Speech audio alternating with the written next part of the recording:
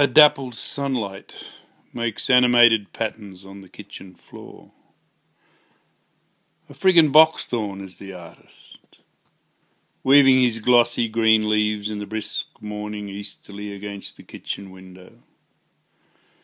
African boxthorns are an invasive species, invading with a purpose. God only knows why. Well, that's not totally true. Enlightenment to God's ways in nature are evident in Richard Attenborough's popularity. In my lifetime, I have made my cubbies with my friends in them in the gullies, adventured in through the labyrinth of tunnels we created. The small birds sheltered from our shanghais, from the onslaught of stones.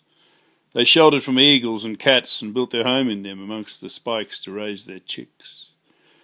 The native spiked wattles have all gone from the farmed and grazed landscape, once the haven of finches and tomtits and robins.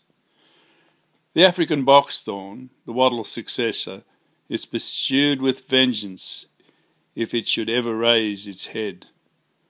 How savagely we have attacked the beautiful balance of Mother Nature in the name of, my God, God, of all things.